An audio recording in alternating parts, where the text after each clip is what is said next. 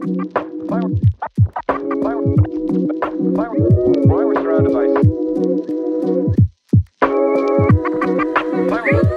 ladies and gentlemen, and welcome to the School of Science. My name is Luke, and this is the Everton Stadium update for the 13th of April 2024.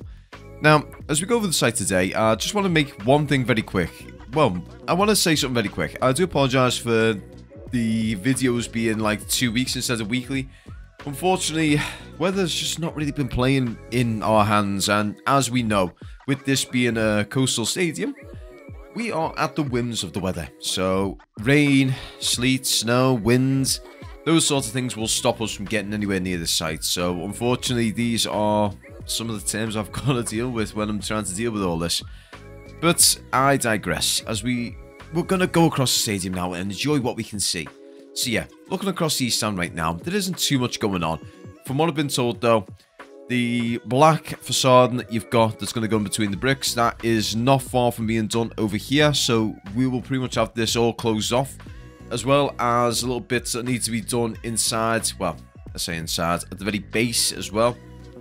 Right now, it's mostly just cleaning stuff out as well as getting certain equipment out before they finish all that off and it's it's it's moving along. It is moving along the way it should be. But yeah, as we go across though on the fan plaza, we can see that the second stage is still in progress. So what they've pretty much mentioned on the thing is, so the first phase was quite literally from the wall itself to pretty much on level with the hydraulic tower to an extent, and then it comes in and then from there, it's a matter of going into phase two. So they're doing groundwork for phase two, getting everything ready. The only thing we've got to bear in mind is before phase two, as well as finishing off phase one, we need to pretty much get all the heavy machinery out of the ground just for the fact that whilst that's there, it's going to be very difficult for them to get it in as well as maintaining it because those blocks themselves, although they're very thick and durable looking, chances are when a 2, 3 or even 4 ton machine goes over them, it could potentially chip or crack them. And the last thing we need is chipped and cracked blocks when we go into our new site. It's it's not something that we want to see. Likewise with the Everton um, the Everton plaques that are going to be going across the south stand. So I've been given good information on that one. It's on my Twitter. So someone on Twitter actually mentioned to me and gave me a photo as well. So at the moment, they're all pretty much the most of them, if not all of them, are already made and ready to go. It's just a simple matter of getting them onto the site and getting them installed. So again, groundworks is going to be the main thing that we're going to be talking about when it comes to those sorts of things. They need to work on the ground before they can do anything. Speaking of which, when we go very quickly, sorry, I'm going off track here. So inside the actual bowl of the stadium, so you'll see this when we're looking down, they are starting the groundworks on the pitch itself. So what they've made clear on Everton's video is this pitch itself, very similar to Goodison, is going to be kind of like a hybrid pitch. So you're going to have natural grass, that's going to make up probably about 80 to 90% of what it is. And then from there, there's going to be nylon fibers that are going to actually be stitched into the ground itself. Now this is done by a machine and it takes absolutely ages for that machine to do it. It's a very expensive machine as well. When I was in New Zealand, I worked for a company that did water blasting inside the Canter. Well, back then it was called the AMI Stadium, and we used to clean the seats before the season kicked off. And they had one of these machines inside there. I was speaking to one of the fellas, and back then, it's one of about a, a couple of dozen, and they are about 10 million pounds a pop. The thing itself is massive, and the it probably takes up about a quarter of the pitch, in a sense, quarter of the width of the pitch, and it's very, very narrow in terms of actual, you know, lengthways. But the thing itself, what happens is it basically pushes fiber in and stitches it under the ground for it to all stick together. The reason they do this is solely for the fact that when you are running across this turf anywhere between a week to eh, once to twice, even three times a week, it gets cut up quite badly. If you've ever played on a standard pitch out in the parks like Walton Hall Park, Sefton Park, or anywhere like that, you'll know for a fact that these pitches get shredded so quickly and it takes a while for them to actually be properly fixed up and playable again. So having these fibres in are very important for the pitch to actually be maintained. Now, bear in mind, all this sort of stuff is going to be taking place between now and August. So between now and August, what's going to happen is a lot of the groundworks are going to get done.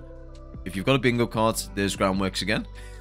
um, on top of that, there is also a lot of stuff in regards to, you know, irrigation, the undersoil heating, uh, very quick fact for you. Everton were the very first team to actually have undersoil heating in their stadium. They were also the first purpose-built stadium solely for football. But yeah, they're going to have stuff like that put into it alongside all the electrics as well as connection ports for the advertisement boards. So all these sorts of things are going to be going in before we even think about flattening the grass, well, flattening the dirt and everything and getting the seeds planted as well as all the fibre and everything injected. Apparently, though, that will be around August when that happens. But for the time being, what we will be doing, so pretty much what we'll do is the first video in May, from there on in, I'm going to be doing a extra little piece, and it's going to be the last, well, it'll actually be before we, it'll basically go from west stand to north stand. In between there, we're going to do a little pan around, in, well, around the bowl of the stadium itself. So we're going to try and get up at the maximum height that we're legally allowed to. We're going to optimize the digital zoom on the camera and we're going to do a nice little circle around and look down into there and see the progress from that. So that will probably be like another minute. I'll make sure of that. And it's one that we're going to try and utilize a little bit more because it is something I want to try and do. Now, this is one thing I've got to mention. Um, well, actually, before that, I'm going to mention the West End. So right now, it is brilliant to see all the stairs and everything. I've kind of went a little bit of a tangent here, and I wasn't even looking at the video for a couple of seconds. But yeah, so we can see the barrel cladding is actually going in place as well. So there's actually a good little bit of progress on that. I think they've, bloody hell, they've actually already pretty much done it to the maximum extent at this point. So the barrel cladding looks like it's kind of went on a pause for the time being. But I'm really happy with that progress. It's something that we can actually look at and kind of focus on. As you can see, the seagulls were actually getting kind of angry around there as well. But yeah, as well on top of that, the west stand. So the stairs and everything are looking rather nice as well. But yeah, as we go across the north stand right now, can't see too much from here. Most of the stuff that's going on right now is block work as well as inside the stadium itself. But yeah, talking about the pitch very quickly as well. Actually, if you look at the very bottom there, you can actually see the seats as well. It's nice. I'm, I'm curious actually. I'm, I'm not sure if anyone's actually uh, mentioned this one. Why are the why are these the glass panels actually like completely transparent? I would have thought with this sort of thing, for the effect of the stadium, they could add like a mirror effect to them. Um, I, what, if anyone is able to inform me on this one, I mean, uh, this is a completely random thing to be talking about, but it's something that's just sort of come to mind at the moment. I would have thought with this, they could have probably have benefited of putting it as like a, um, a what's the name, like a mirror effect on this one, because I think that would be very nice in terms of reflectiveness. Also, on top of that, it kind of stops people from looking from outside in. Also, on, on, overall, I'm really excited to sort of see the stadium come along. Um, there's a lot of stuff that's been going on outside the stadium, you know, with all the points deduction everything like that. It's negative things that we can't really be doing with right now. But Everton overall, we're actually doing we're, we're, we're not doing great, but we're doing okay. We I I've got high confidence that we're going to survive this season. And then coming into the next season, it's going to be the massive rebuild.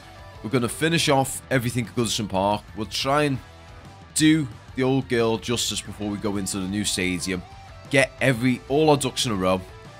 And just try and put this financial fair play headache behind us because it's just getting to the point now where it's becoming an absolute nightmare for us every single week we're getting point deduction, point deduction, point deduction. I mean, even now, talking about the stadium right now, they're threatening points deduction because we're doing the bloody stadium. Even though Tottenham have spent over a billion pounds on their stadium, and they've been able to write that all off as an external thing. How they've done that, I don't know.